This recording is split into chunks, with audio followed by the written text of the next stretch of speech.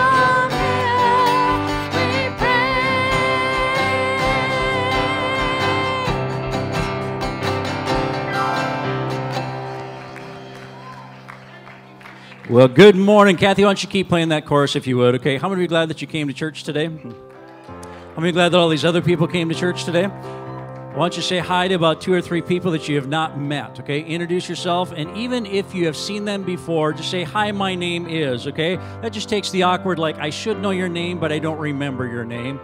Go ahead and welcome each other. We're going to continue on in just a moment here.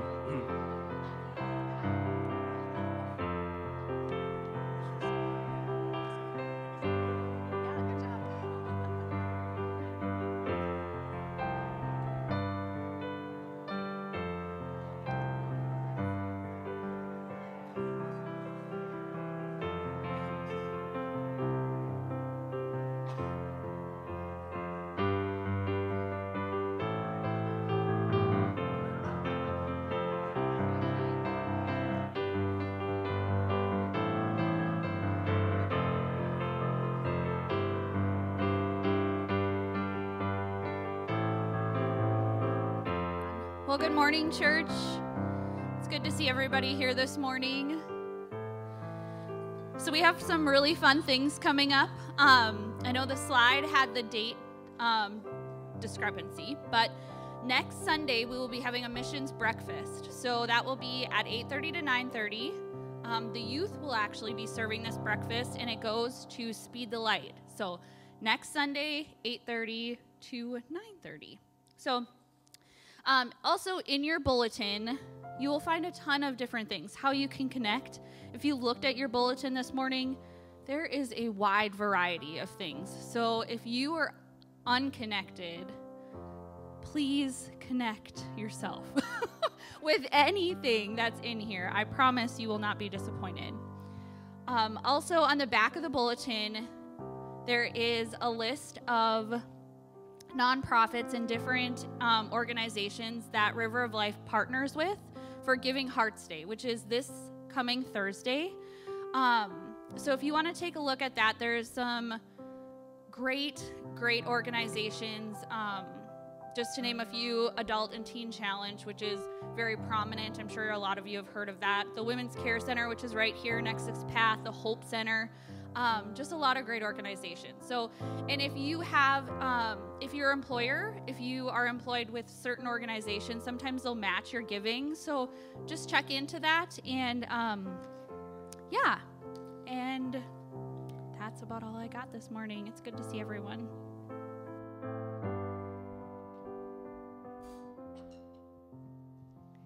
We're going to go back into worship. If you guys would like to stand up and uh, focus on the, we're going to have the words up here and just focus on the Lord this morning and giving him praise because he is worthy. He is worthy of all of our praise.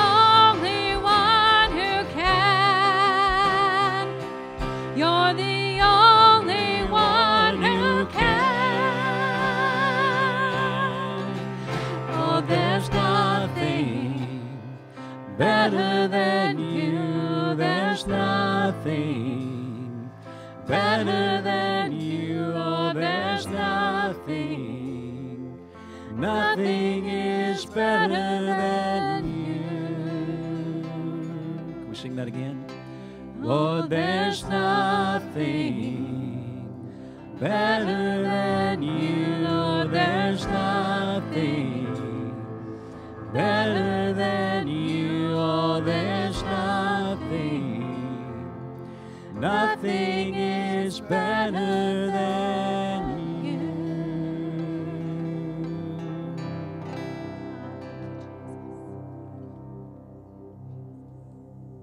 Thank you, Lord God. Thank you, God.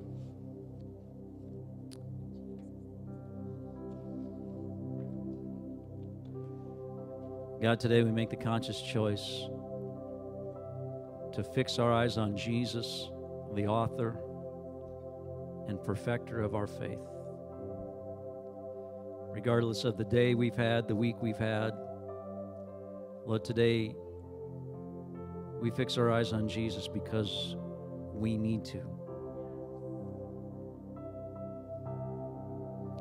God, reveal more of yourself to us today, we pray. We know that you are our source. Thank you, Lord. Can go and have a seat just for a moment. This morning we are sharing together in communion. I want to read uh, a passage out of Matthew.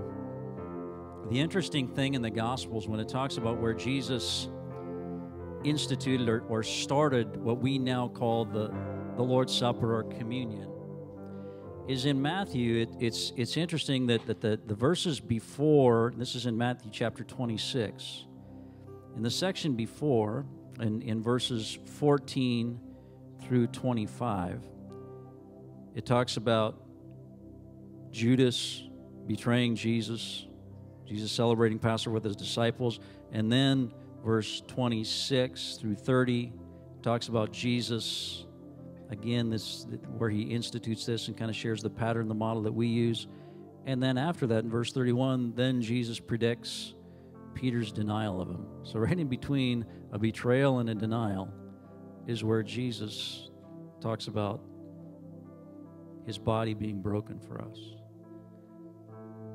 This last week, we had the opportunity, Monica and I had the opportunity to be with, um, there was a rabbi that was in town.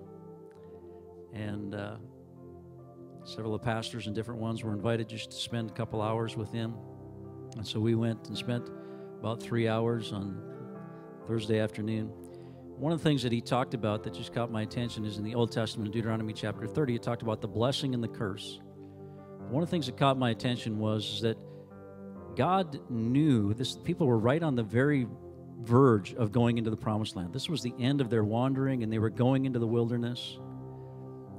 And God said, I'm going to I'm going to bless you. There's blessings and the curses I want to bless you. But long story short, he basically said this, I know you're going to fail.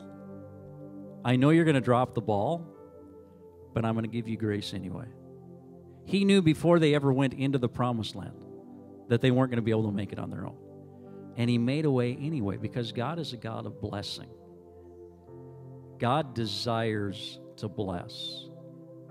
God wants to bless. We don't have to beg and plead and try to convince him to, to give us something good. He is a good father that gives good gifts to his children. So as we enter this time of communion, I just encourage you just to come to him today as a good father that gives good gifts. In John chapter 26, starting with verse 26, and as they were eating, Jesus took bread, blessed and broke it, and gave it to the disciples and said, Take, eat. This is my body. One version says, This is my body that was broken for you. Then he took the cup and gave thanks and gave it to them, saying, Drink from it, all of you. For this is my blood of the new covenant, which is shed for many for the remission of sins. But I say to you, I will not drink of this fruit of the vine from now on until that day when I drink it new with you in my Father's kingdom. And when they had sung a hymn, they went out to the Mount of Olives. This whole idea of the, the body being broken for us. Sometimes we say, why, why is it that we do communion so frequently? And honestly, we don't do communion probably as frequently as we should. Because I believe that one of the things that God knew, and Jesus knew even when He instituted this, is that we have a tendency to forget. Anybody have problems with that? We have a tendency to forget. And God said, I want to put things in place that continually bring back to your mind what it is that I've done. This is one of those. Is that we come together, and Jesus said that as often as you eat this bread and drink this cup, you do show the Lord's death and come. Do this in remembrance of me. Now, one of the things that I want to make sure that we understand first of all, if you are new with us or new to River of Life, you don't have to be a member of River of Life uh, to participate in communion. What we do ask is that you've just committed your life and made that choice, just to commit your life to Jesus. And you are part of the family of God. We'll give you opportunity even for doing that, that today. But the Bible also says that when we take communion, that it's a time for us to kind of examine ourselves. So, God, is there is there any betrayal or denial that that I've harbored or that I've practiced in this last week, last couple of weeks? And let's bring that back into alignment. And the good news is, that if we confess our sins, He is faithful and just to forgive us our sins and to cleanse us from all unrighteousness. So would you just bow your heads and just close your eyes. In just a moment, I'm going to have the ushers come and they're going to begin to distribute these uh, different elements the bread and the cup, again, representing the, the blood of Jesus, and the, uh, the, the, bread representing the body of Christ. Just ask that, uh, again, that you hold on to those. We'll all be sharing those together in just a moment. I'm going to have Monica come up here in just a moment, and we're going to be uh, just leading as we all partake together of that. Parents, if your kids are here, just leave it completely up to you. If you want to have your kids participate, that's we, we welcome kids to participate if they can understand what they're doing. But Lord God, we take a moment and we remember.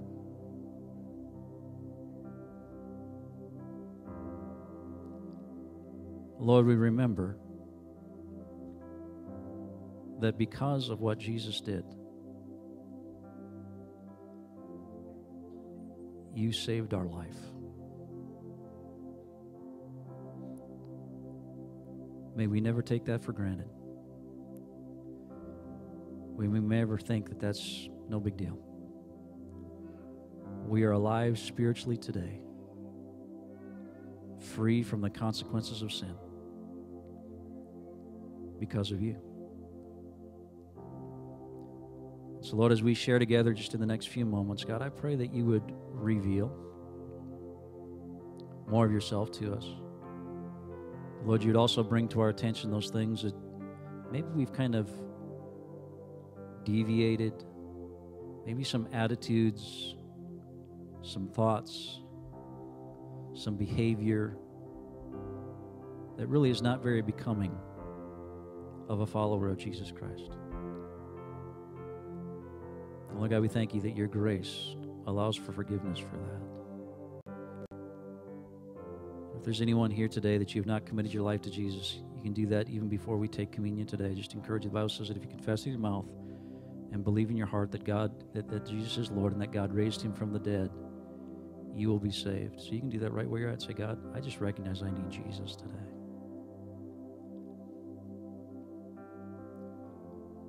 Thank you, Lord. Oh, what an incredible privilege it is to come together to share this time. Now, supernaturally do what, what no man can do. In Jesus' name. Ushers, would you come? Worship team is just going to continue to lead us just in worship. I encourage you just to fix your eyes on Jesus. Again, just hold on to the elements until everyone has been served, and then we'll be sharing together in just a moment.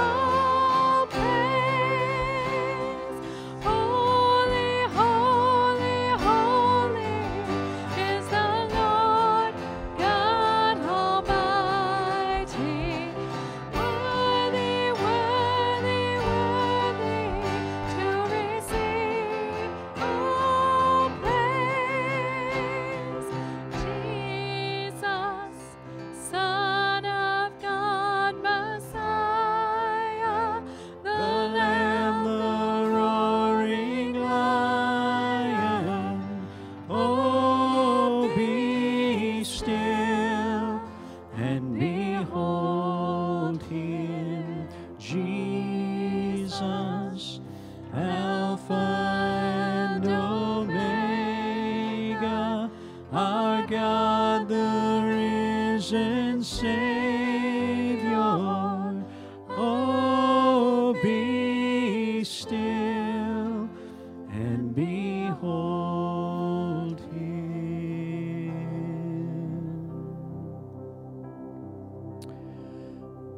Bread representing the body of Christ, the physical body that Jesus experienced such incredible torture for us on the cross.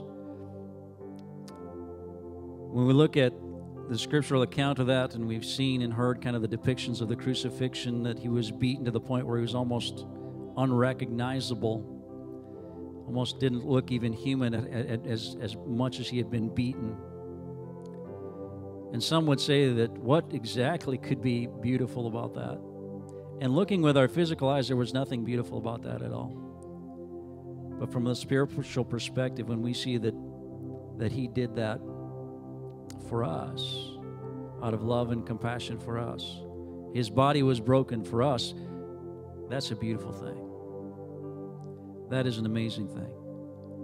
Not just for me personally, but now I can come together, and I'll be talking about this this morning. I can come together with other believers. The church those that all have accepted Jesus Christ as a personal Lord and Savior, that is a beautiful thing. The church is a beautiful thing. I want you to understand that. The church is a beautiful thing. The body of Christ is a beautiful, beautiful thing. And that's the privilege that we have today. So let's take that bread. And God, thank you today for the body Lord, thank you for the body of, of Jesus that was, was sacrificed, for the physical body that endured such incredible punishment for us, Lord, that we deserved. Lord, the stripes that we deserved, the beating that we deserve, the condemnation that we deserve, the guilt that we deserved, the consequences that we deserved. And yet you stepped in and took our place, and we thank you for that for that is a beautiful thing. And Lord, thank you for the, the church, the body of Christ that we have been adopted into, the family that we are now a part of, the relationships that we can now experience, the encouragement that we can find because of what you did on the cross. So, Lord, as we share this bread together, we remember what you've done for us and we say thank you. Let's share together in bread this morning.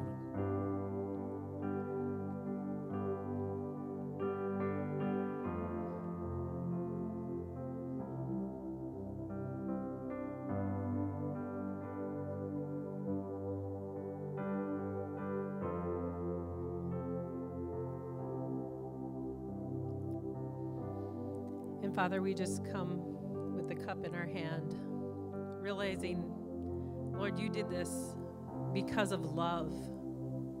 You love us, and you sent your Son not to condemn us, but to save.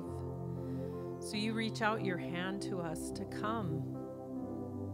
So I pray, Lord, that no matter what failures, betrayal, or denial that we have made against you or others, I pray, Lord, that we would come to receive the restoration and forgiveness that you freely offer because you love us.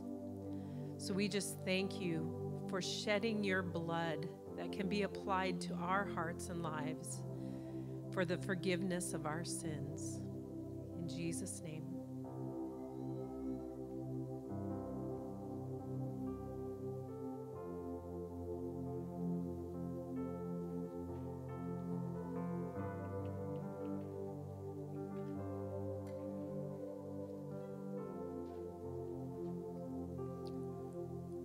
Respond to that chorus Holy, holy.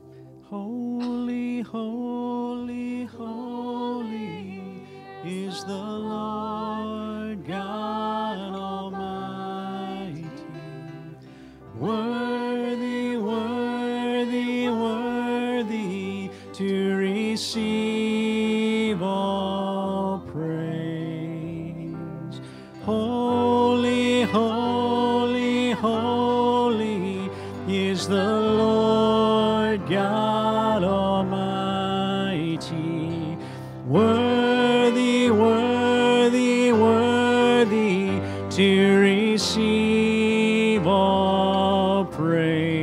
time. Holy, holy.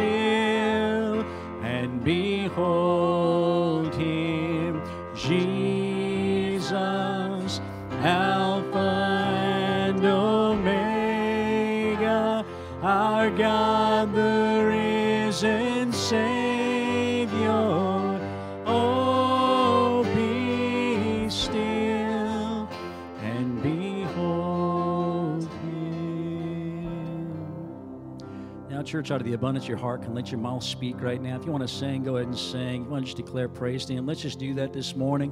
Let's just fill this place with praise. If you want to lift your hands in gratitude to Him, Lord, we praise you today. Lord, you alone are holy. You alone are worthy.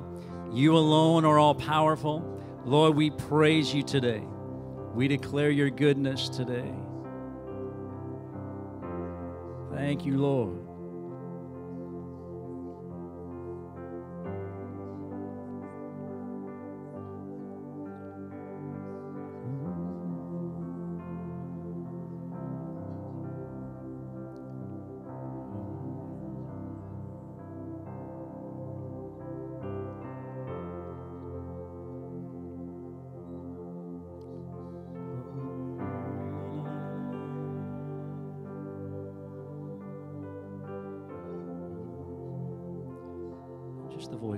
Just the voices to sing.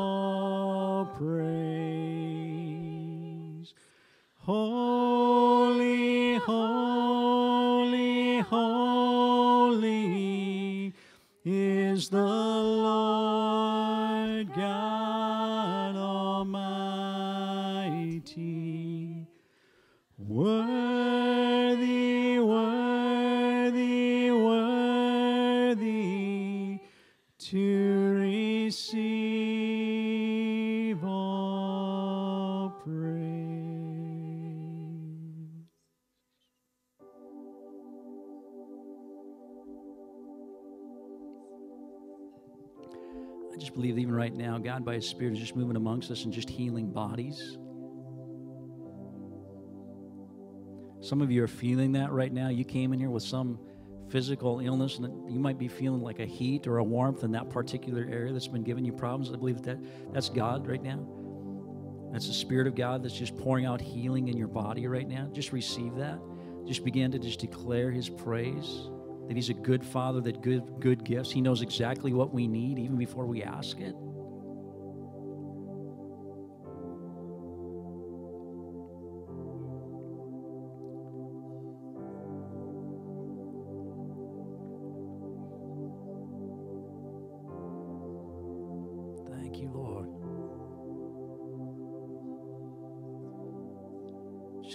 An attitude of worship. I just, how many of you are feeling that? I mean, You're, sensing something right now. Could be a physical thing that just God is just doing something. Those of you that do, I just want you to embrace that. Just continue, just continue to focus on the presence of God right now. God is a good God. He just He heals us even when we don't ask for it. Just because He's a good God, He knows exactly what we need. So let's just hold tight, just in the presence of God. I believe He just wants to do some supernatural miracles here today.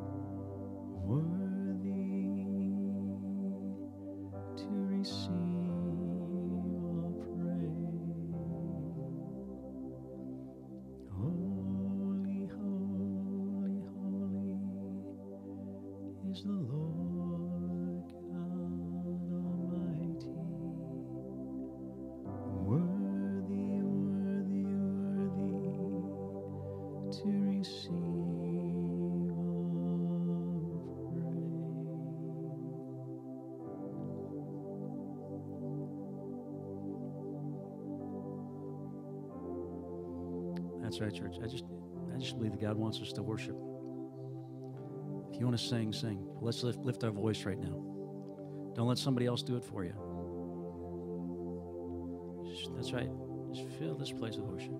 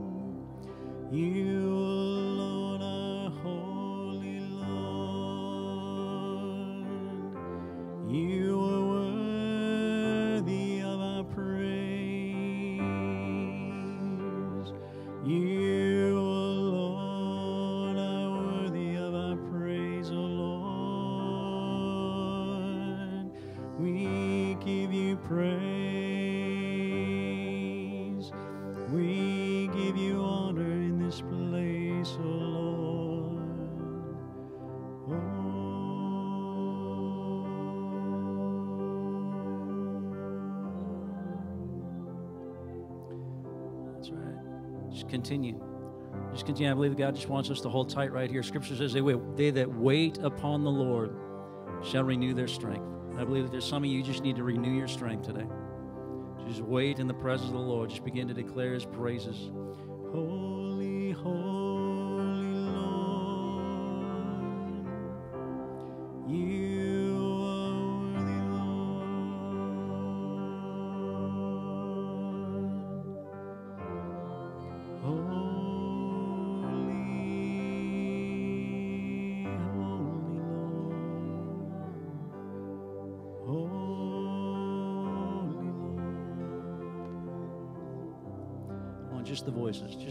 Let's sing this right now.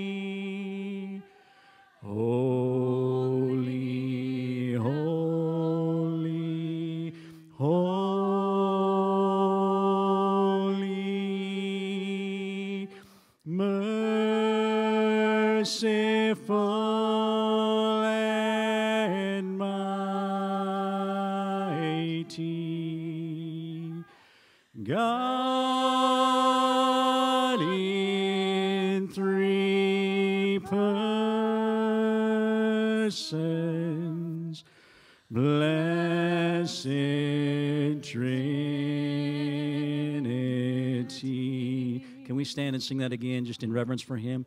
Holy,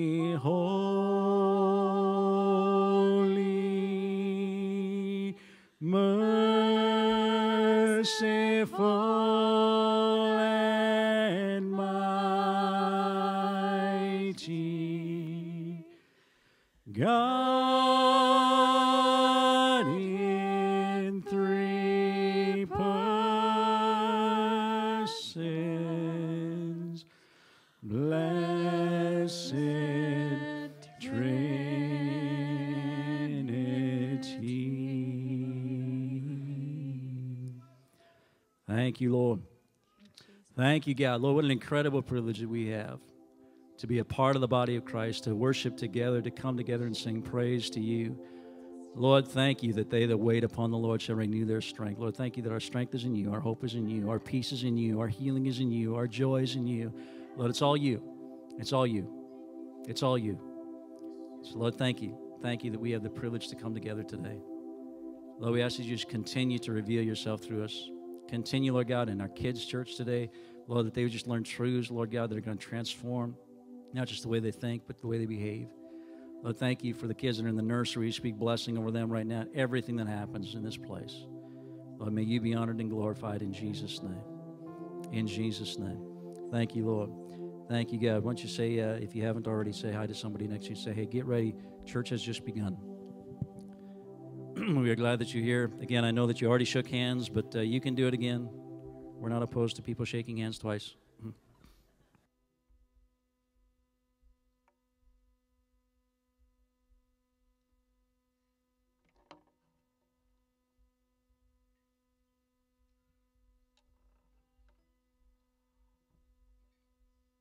Let's go ahead and head back. Monica is back there, so kids can be dismissed for kids' church.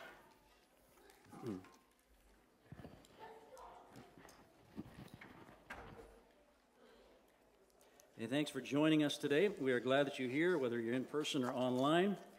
I am, uh, I am glad to be back. And those of you here last Sunday know that uh, I was uh, down for the count last Sunday and uh, woke up just with incredible dizziness. I shared with some of you. I don't know what your feelings are. If you've experienced dizziness, I am convinced there's one place in hell. That's what you feel for eternity. I hate, I hate, hate, hate, hate that feeling. But uh, anyway, thank you for your prayers. Appreciate Aaron uh, Phoenix stepping in and uh, taking care of things, and so many of others taking care of things uh, last week. And uh, so let's let's just continue. I want to just continue to be praying, uh, really just healing and protection for ourselves, for our family. Just out of curiosity, in the last month, how many of you have personally experienced, or somebody in your family has experienced illness? Okay, look around. It's all over the place, okay? We just need to pray together as the body of Christ, again, for each other, uh, just the, the healing power of God and the protecting power of the blood of Jesus uh, over our bodies. Again, we want to just uh, make sure that we remember those that are not able to be here today. Some are watching online probably because they're not feeling well.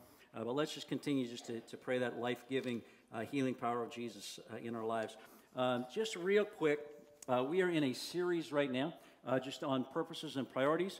And uh, so if you've got your Bibles, uh, you can go ahead and take them out. Uh, Hebrews chapter 10 is going to be the passage that I'm looking at.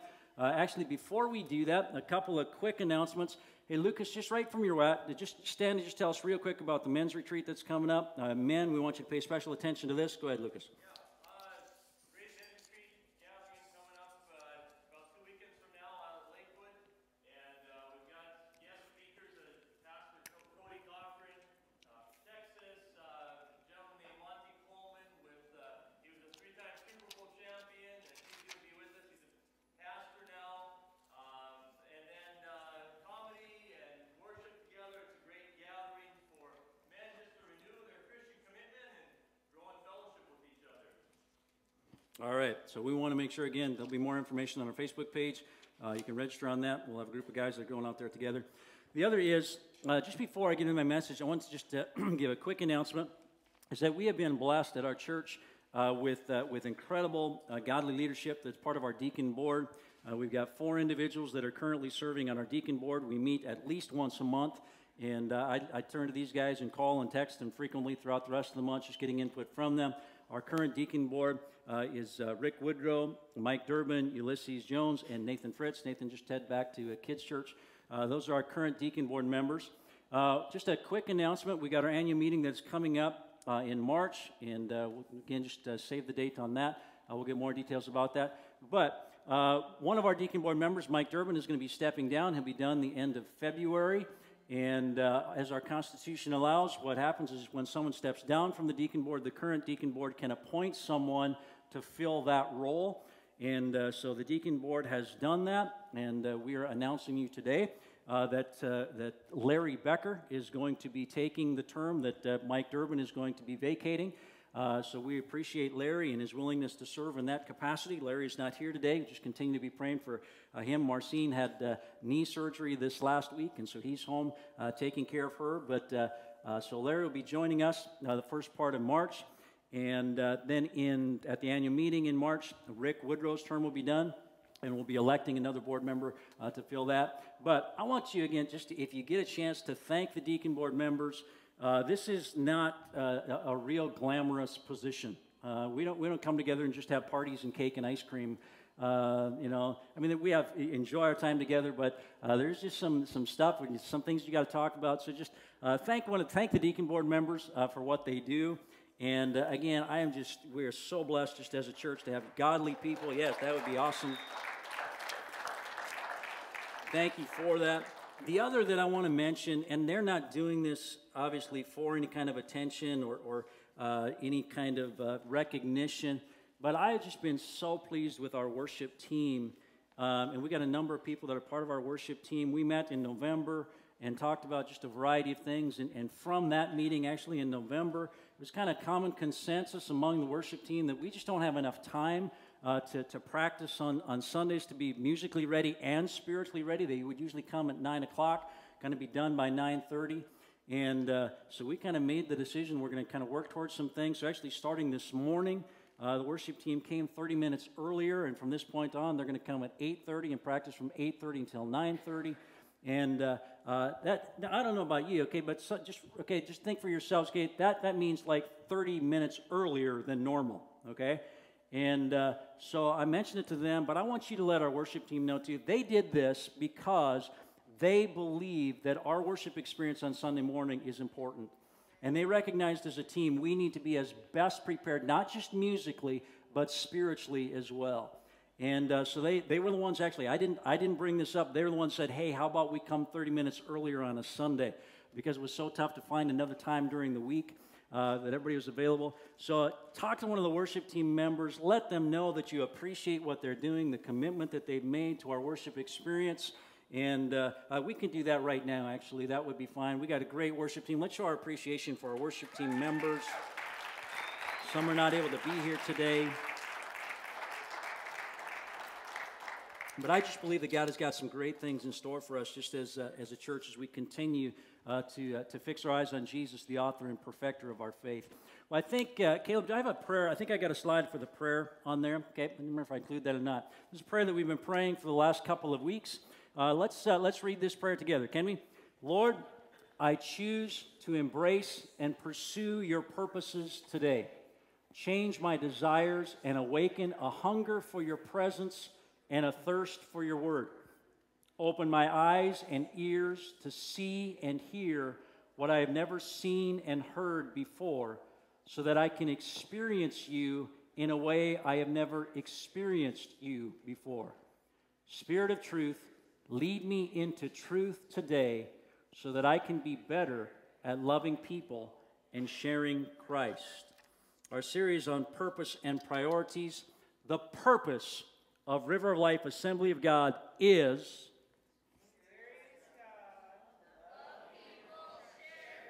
There you go. It's right on the screen there for those of you that weren't paying attention. Okay? This is why we exist. Okay? This is why we do what we do. We do everything that we do to experience God, to love people, and to share Christ. The last couple of weeks, again, if you missed any of those messages, I encourage you to go on to either our webpage uh, or our YouTube channel and uh, watch those uh, the messages we've been talking about priorities. Here's our purpose, but what are our priorities? Again, the priority we talked about Uh, two weeks ago was the Word of God and the Gospel of Jesus Christ. Today I want to uh, talk about the priority of life giving relationships. In Hebrews chapter 10, starting with verse 19. Hebrews 10, verse 19. Everybody got it? If you got it, say, I got it. Okay? For those of you that are waiting for your dollar, I'm not giving you a dollar today. Those of you don't know what I'm talking about, never mind. Okay? Hebrews 10, starting with verse. Actually, let's start with verse 19. Therefore, brethren, having boldness to enter the holiest by the blood, holiest by the blood of Jesus, by a new and living way, which he consecrated for us through the veil that is his flesh, and having a high priest over the house of God, let us draw near with a true heart in full assurance of faith, having our hearts sprinkled from an evil conscience and our bodies washed with pure water. Let us hold fast the confession of our hope without wavering, for he who promised is faithful. And let us consider one another in order to stir up love and good works, not forsaking the assembling of ourselves together, as is the manner of some, but exhorting one another, and so much the more as you see the day approaching. There is a word that we have encountered over the last year, two years, that we have used before, but probably not anywhere to the degree have we heard it or seen it like we have recently, and that word is the word essential. Essential. Essential, the definition means absolutely necessary or extremely important. Most of the context of the conversations and things in which we've seen this word in the last, again, year, two years, has been in discussions or news articles or public policies trying to identify what is essential, what is non essential. Essential businesses, non essential businesses. Essential workers, non essential workers. Uh, all of these things, this crisis that we have experienced in the last couple of years, has really focused people's on, attention on really having to identify what are the priorities. What is essential? What is important? This pandemic of the COVID 19 has, has revealed priorities individually, nationally, and spiritually. And in some ways, it's been a good thing. In some ways, it's been a little bit telling that some of our priorities have kind of been, a spotlight has been put on them. We realized, again, individually, corporately, nationally, spiritually, that some of the things that we have placed as priorities probably shouldn't have been placed as much of a priority as they were. Brett McCracken in the Gospel Coalition, he had a webpage, he said this It's telling that our society has decided we cannot live without essentials like liquor stores, marijuana dispensaries, and golf courses, but we can live without the physical church gatherings. That's one of the things that has come to light is how essential is the church, how essential is the church gatherings.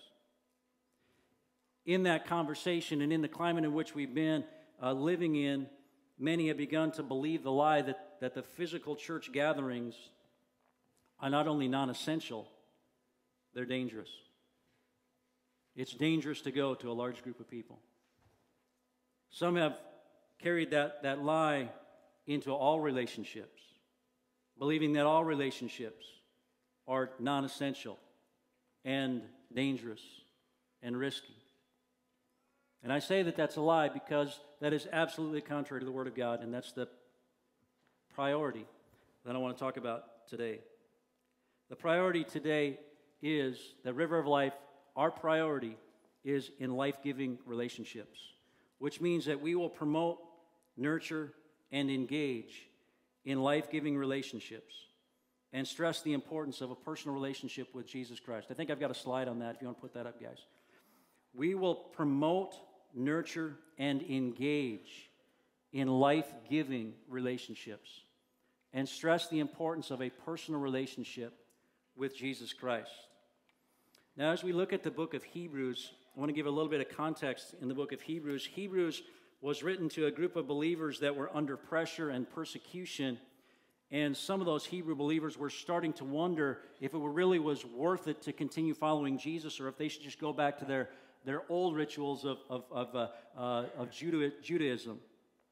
The writer of Hebrews, which most likely was, was the Apostle Paul, is writing a letter of encouragement to them, basically saying, It is worth it. We did a series on this a while ago uh, called Greater Than. That's really the theme of the entire book of Hebrews, is that Jesus is greater than. He is worth pursuing. But throughout this epistle, again, the, uh, which is in a letter written by an apostle, the author points out the priority of Jesus. Jesus is greater. And these Hebrews that were trying to decide on their priorities and where they should put their time, effort, energy, money, Paul is encouraging them, saying, Yes, yes, it is, it is worth it to pursue this. Now, in the, the book of Hebrews, there are a number of, of warnings that are included throughout the book of Hebrews. There is a warning against not valuing salvation. This is in Hebrews chapter 2, verse 1 through 4. I think I got this on a slide too. He, a warning against not valuing salvation. Hebrews chapter 2, 1 through 4. There was a warning that the apostle was uh, writing to the Hebrews about deception and unbelief coming into the church and into believers' lives. That's in Hebrews 3, 7 through 14. There was a warning against spiritual apathy and immaturity, which is in Hebrews chapter 5, verse 12 through uh, uh, chapter 6, verse 20. There was a warning against sinful behavior in Hebrews 10, 26 through 39. And there was a warning against disobeying God's voice in Hebrews chapter 12, 25 through 29. Now, the reason why I put this on the screen is I want you to look at that and I want you to consider do you think that any of those issues right there are potential dangers for the church in America today?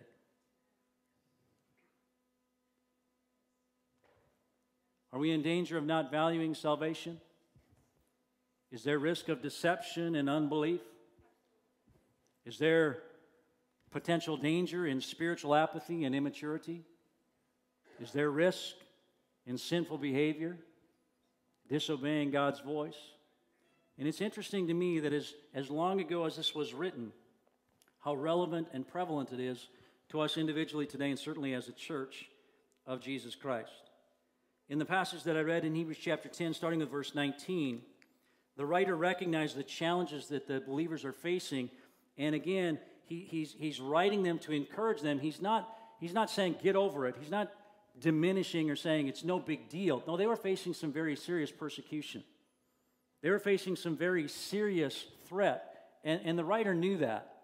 So he wasn't discounting that. Actually, the, the writer of Hebrews, he actually says, you know what, I recognize the persecution and the challenges that you're facing.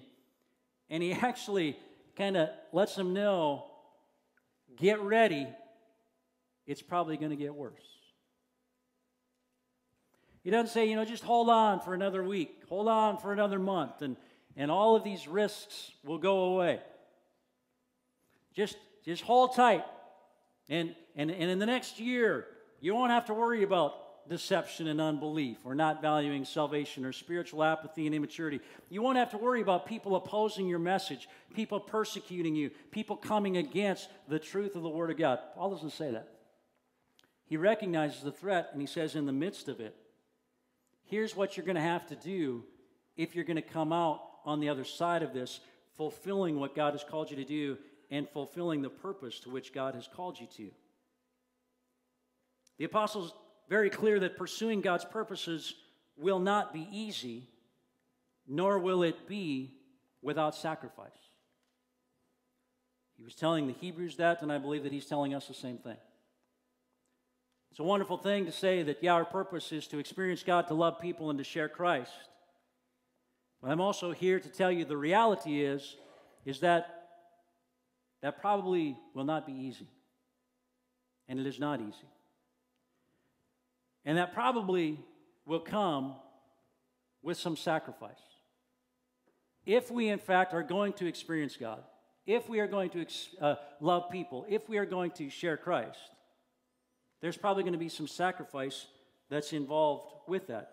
Perfect example that I already mentioned is the worship team coming 30 minutes earlier. Why? Because they're sacrificing, because we want to experience God. Somebody said that to continue to do what you've always done, you will continue to get what you've always got. And if we want anything to change in our spiritual lives or in our church, in our, our nation, it is going to require some effort on our part. It's going to require some diligence on our part. It's going to require some change on our part. We need to have a plan in place in order to persevere to the end because, again, those challenges are going to become even greater. So the apostle lists a couple of let us statements in the passage that I read. One of them is in light of all the things that are happening, let us draw near to God with a true heart in full assurance of faith. He's saying, first and foremost, your relationship with God has got to be a priority. Draw near to Him. We talked about this already. Scripture says that when we draw near to Him, He will draw near to us. Let us draw near. He also says, let us consider how to stir up one another to love and good works. And it's in that section that many of us know the verse, Hebrews 10 25. It's in that context that says, not forsaking the assembling of yourselves together, as some are in the habit of doing, but encouraging one another, and so much the more as you see the day approaching. See, the apostle is writing and saying, if you are going to persevere in fulfilling your purpose, it is going to require you to be in relationship with other believers, and it is going to require you to be involved in life giving relationships. So, what does that mean exactly? Life giving relationships, really, in its simplest form, is, is those connections, those relationships that deposit more value than they withdraw. There's a difference between life giving relationships and life taking relationships. There are relationships that we've all experienced that are life giving. We add, uh, get more value. We are encouraged when we are around these people.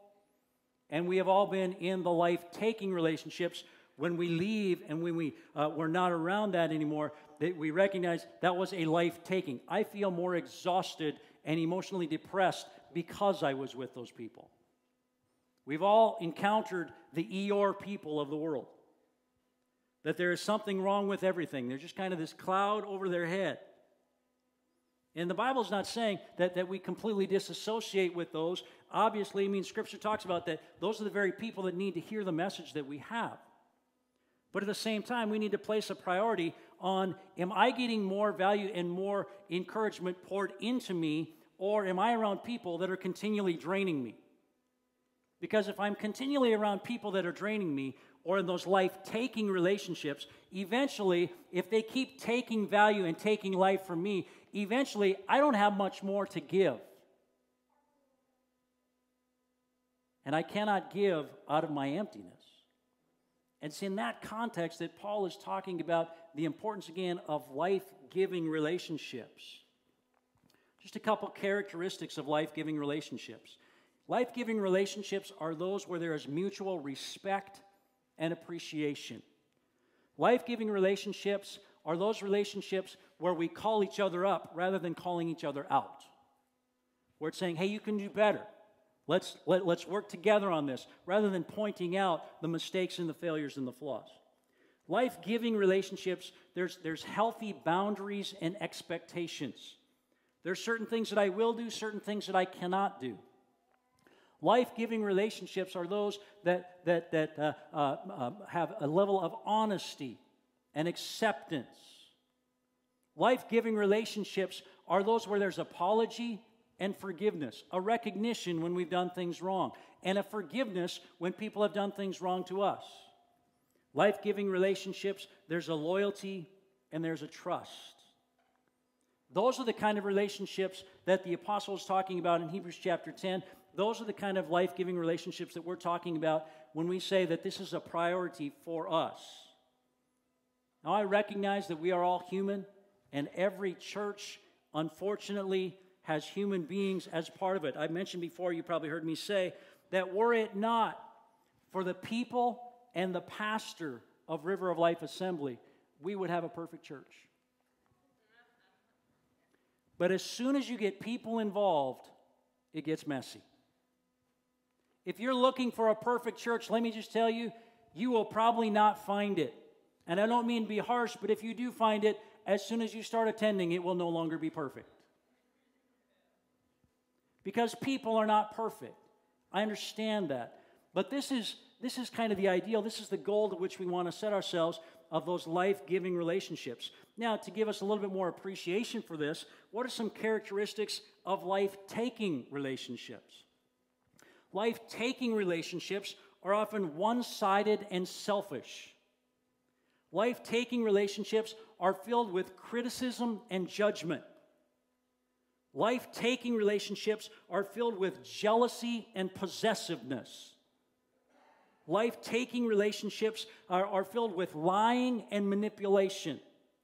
Life taking relation, relationships uh, are those where, where individuals seldom take responsibility and often blame someone or something else. Life taking relationships, there's, there's easily, uh, they're easily angered or maybe even to the point of abusive. Those are life taking relationships. And those are the relationships that we need to stay away from. Uh, away from. Most of us, again, have experienced life giving and life taking relationships, and some have experienced more than one than the other. Which is why it is so critically important for us as a church body is that we do everything we can to create environments where we have life giving relationships rather than life taking relationships. Why are life giving relationships important? Why is this a priority for us as a church? Why is this something that we need to pursue individually, corporately, community wise? That the importance of life giving relationships. Life giving relationships accelerate God's purposes in our life. When we are involved in life giving relationships, the purpose to which God has called us, we are able to pursue that and accomplish more sooner in a life giving relationship. Life giving relationships keep us focused on God's purposes in our lives. It is very easy for us to get distracted from what God has really called us to do, especially if we're never around life giving relationships and those people that have got a similar purpose and a similar focus. It, it, it keeps us focused on why we're here. It keeps us focused on the experiencing God, loving people, and sharing Christ. Life giving relationships protect God's purposes in our life. Because those life giving relationships are ones that, that when we start to deviate or when we start to stray from, from that purpose from which God has created us, we have life giving relationships that, that will call us and say, hey, you know what? I'm, I'm noticing I haven't seen you for a while. How you doing? You seem to be down a little bit. Is there something that I can help you with? They, they protect that and they, they get us back on track to where we need to be. Along with that, life giving relationships hold us accountable to God's purposes in our lives. Is when we are in those life giving relationships, we have to uh, be able to tell other believers and we hold each other accountable for, for doing what we said that we would do.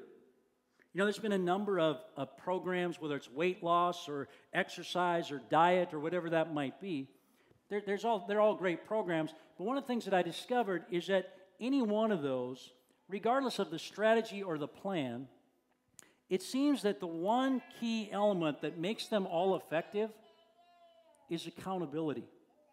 So let's say that you're wanting to lose weight and you join a Weight Watchers, okay?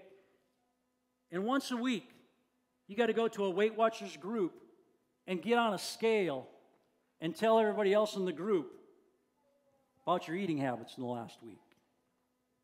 There's a level of accountability there. That if I know that I got to tell other people what I ate this last week, if I know that someone's going to ask me, then I'm going to do what I can to follow that plan.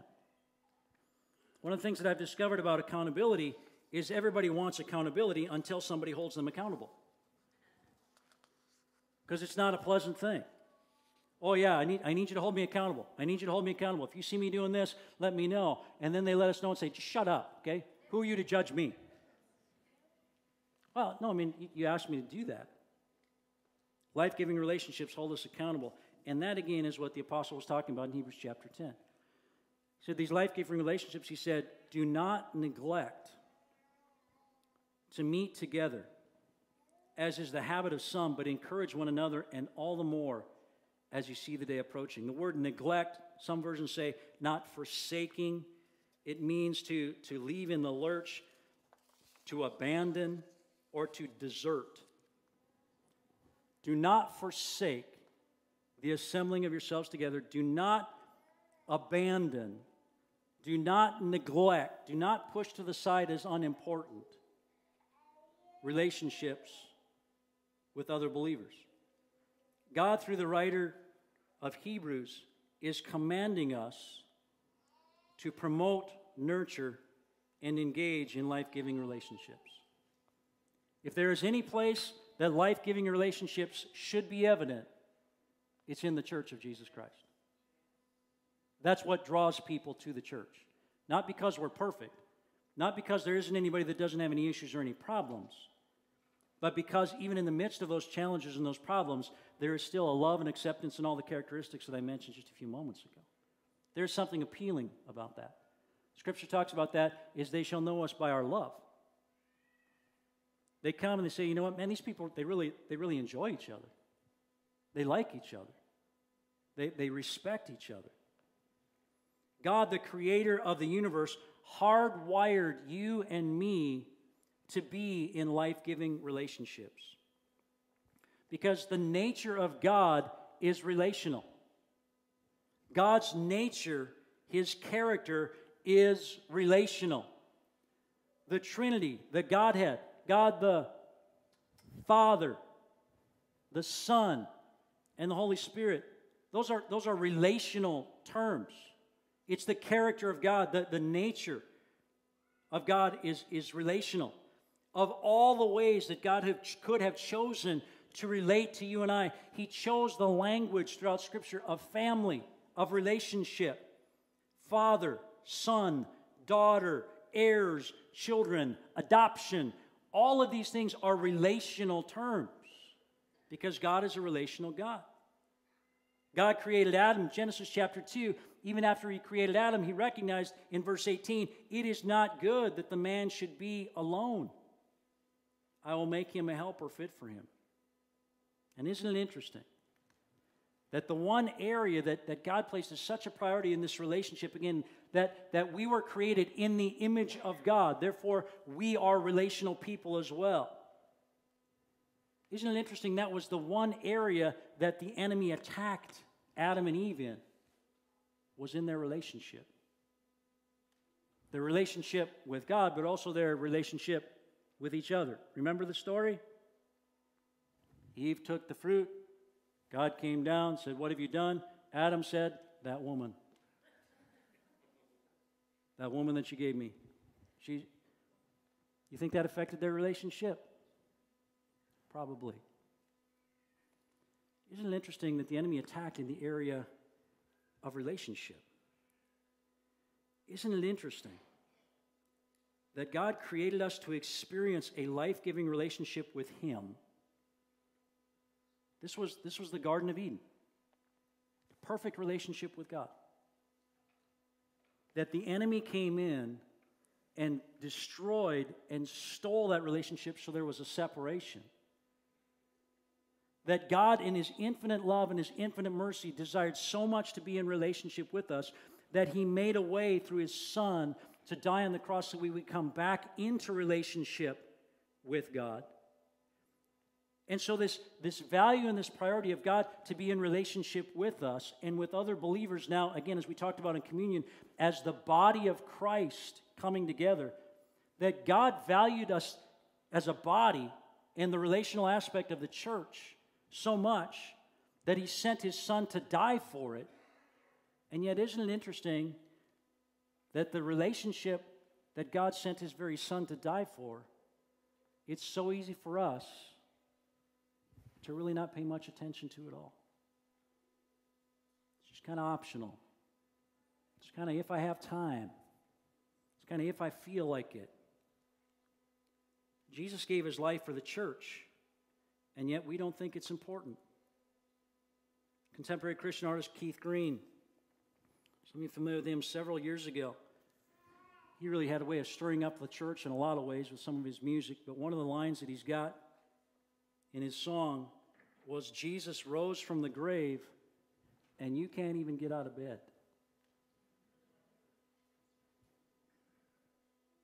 See, there's a danger. There's a danger in isolationism. There's a danger in removing ourselves or being removed from the body of believers. Matthew chapter 9, it tells the story of Jesus coming into the city and says, when he saw the crowds, he had compassion for them because they were harassed and helpless. And here's an interesting phrase like a sheep without a shepherd. Then he said to his disciples, The harvest is plentiful, but the laborers are few. Therefore, pray earnestly to the Lord of the harvest to send out laborers into his harvest. Jesus was moved with compassion because he saw people that were isolated and they did not have any life giving relationship. They were trying to make it on their own. You know, the, the analogy of, of that sheep, they, they were like sheep without a shepherd. I did some studying, and do you know what a sheep's primary defense mechanism is? I mean, you don't typically think of, of sheep like harsh and you stay away from them. That one's got sharp teeth. Uh, no, I mean, sheep are pretty docile, pretty tame. I mean, you really don't think much of a, of a sheep that, I mean, if, if, it's, if it's faced with danger, what, what's it going to do? Bow to, you know, I don't know. What, what, does a sheep do? And looking at, at uh, some information about sheep, the number one defense mechanism of sheep is to run. Along with that, and here's interesting. Now, again, this is from actually, it was a webpage on sheep. Along with that, sheep have been created with a, a high sense of paranoia and danger. So they can recognize danger from a long ways off. Why? So they can run. That's, that's their defense. Is our defense is there's danger. Run. It isn't hold your ground. We're going to take, but here's the third thing I thought was interesting. Okay, number one defense, they run. Number two, they have a highly de- developed sense of danger, so they can kind of sense that something's wrong. But the third one is they stay in the flock. Because they know that the chances of a predator attacking all of them are slim to none. So they stay together. And that's how sheep are able to stay healthy. And yet, all of us, Scripture talks about that, all we like sheep have gone astray, each one to his own separate way. We've isolated ourselves from other believers, we've isolated ourselves from, from those life giving relationships, and we think that, that we can make it okay. Isolation. In isolation, it is all too easy to both hide our sin and feed our sin in secret because of all these characteristics already. Why, why are they important? Holding us accountable? Because I can isolate myself. Not only can I be involved in sin and nobody else knows about it, I can feed my sin and nobody else knows about it. In isolation, our loss of relationship leads to a lack of discipline. And our lack of discipline leads to an indulging in sin. Sin thrives in isolation, which is why we need to discipline our bodies which is why we need to be around other believers. Sin thrives in isolation. Don't believe me? Talk to some mental health professionals and find out how the last two years has played out with people as they've isolated themselves.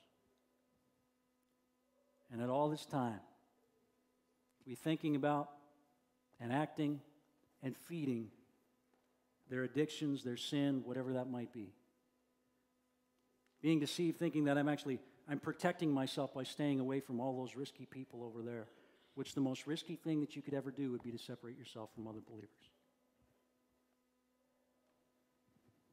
There's four environments, just so we wrap things up, four environments, four environments of life giving relationships that every person must have. One of them is one on one relationship with Jesus. Apostle Paul talked about that. Let us draw near to God. Your time with Jesus has got to be top priority. Second one is a spiritual friendship with at least one or two other people.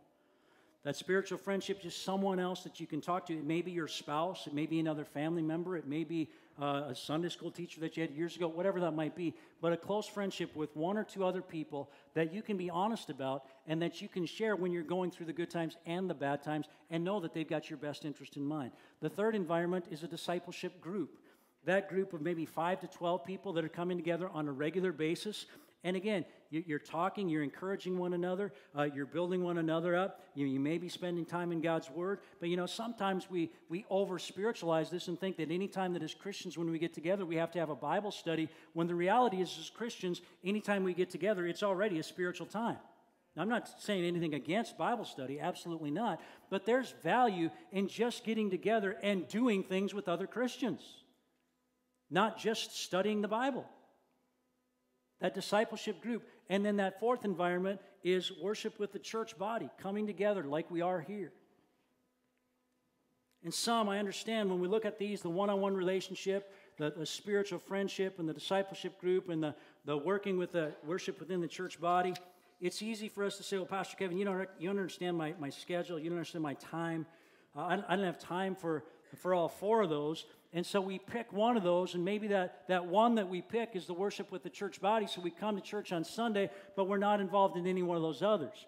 Or maybe we pick, you know, I don't really need to go to church because I got my time with Jesus, and that's all I really need. Well, I'm glad that you got time with Jesus, but let me tell you this you need to spend time with Jesus' body as well. You need to spend time with his church.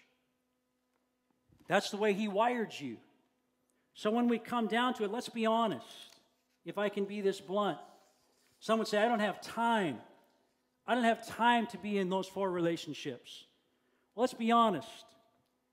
Busyness is not keeping you from those four relationships, comfort is.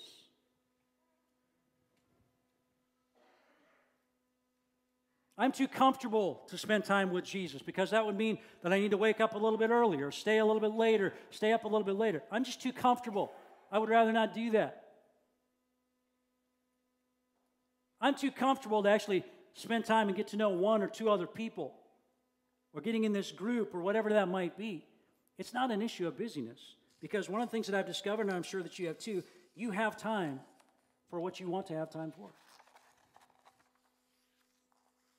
And you need to understand, we all do, the importance of not forsaking the assembling of yourselves together as some are in the habit of doing because you cannot make it on your own. Nor can I. It's impossible. That's why Paul is saying, I'm not, I'm not diminishing the persecution and challenges you're facing.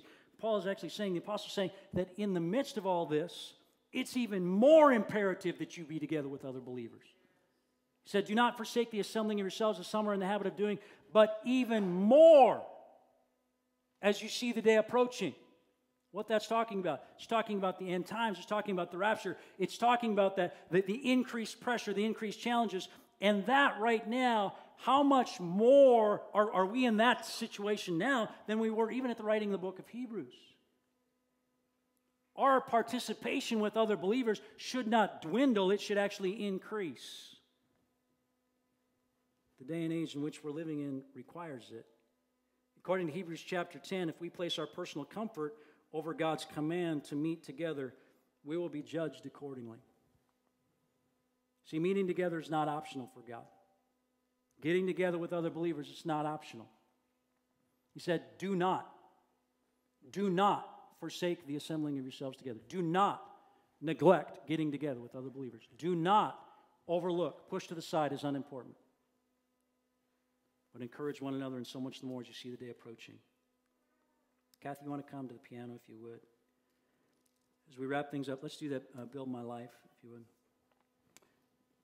As we wrap things up today, I want to just, are we, are we online? We're online.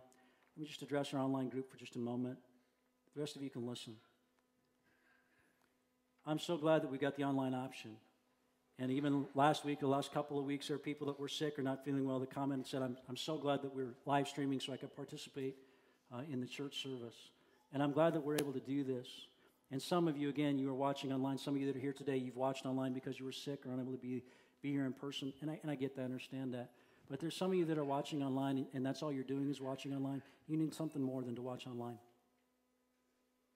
You need to be with other people. And I'm not saying that you got to come to this church. You need to be with other believers. A, vir- a virtual relationship is not going to cut it. And those of you that are here in the sanctuary, you know that. A virtual relationship, it's, it's not the same. It can't be the same. It, it was never meant to be the same. And so I'm glad that we have that opportunity to connect. And our goal is to connect with people online, absolutely. But our goal is to not to keep them online. Our goal is to connect them in life giving relationships with other people. That's our desire. It should be for all of us. So, as we wrap things up, here's my question. First of all, the life giving relationship, of course, that we place at the top priority is a life giving relationship with the person of Jesus Christ. We talked about that during communion. Four environments. One of them is just that one on time, one on one time with Jesus. If you have not done that, I encourage you to do that. Saying, I, I, I just commit my life to Jesus. I can't make this apart from a relationship with Him.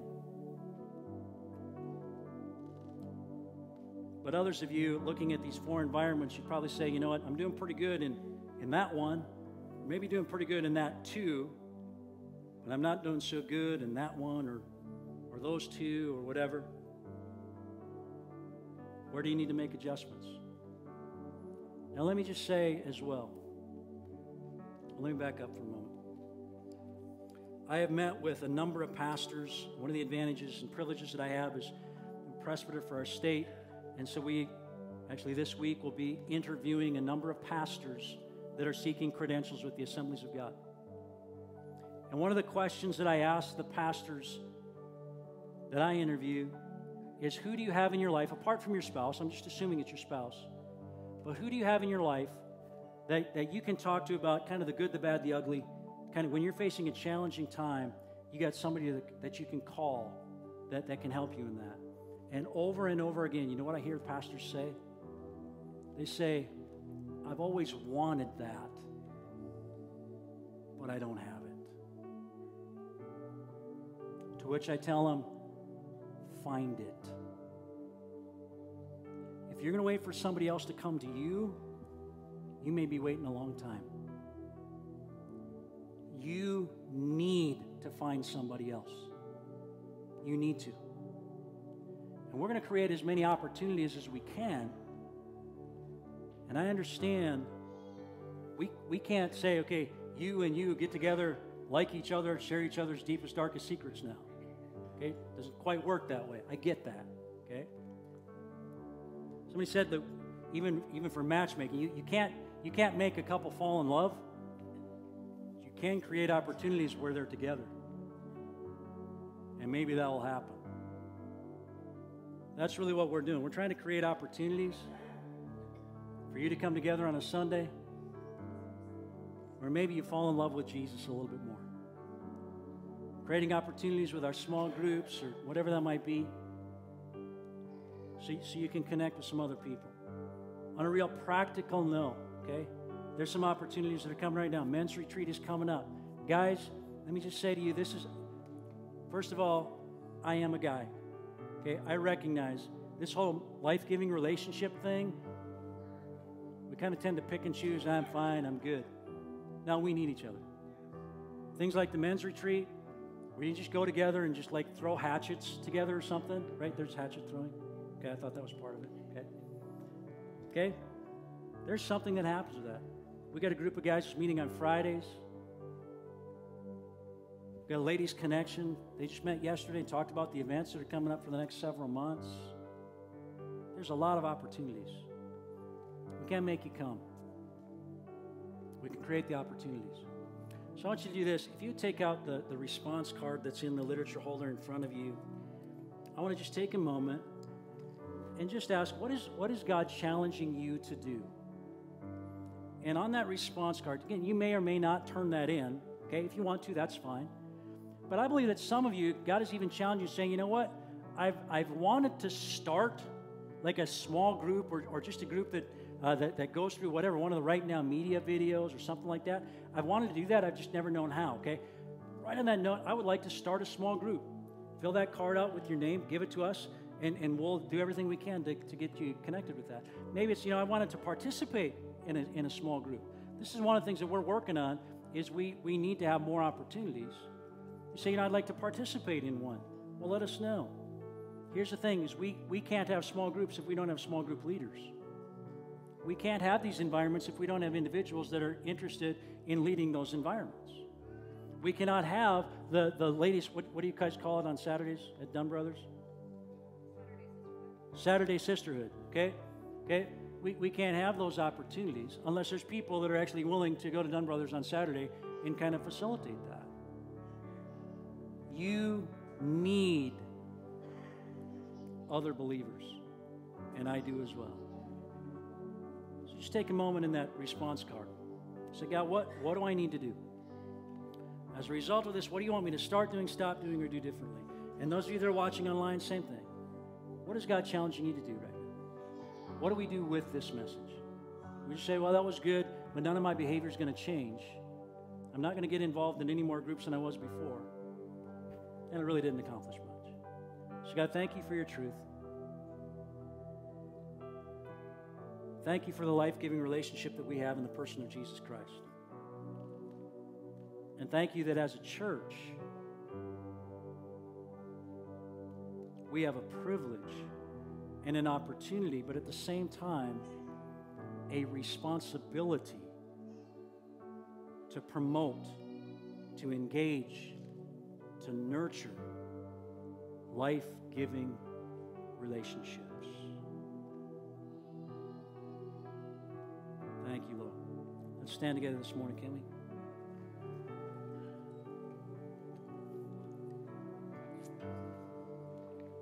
If you need to find someplace to pray, the altars are certainly open. I encourage you to do that.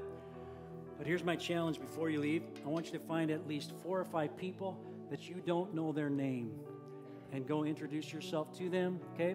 And let's just all get over the awkward right from the very beginning because I know part of the awkward is I've been sitting in the back row.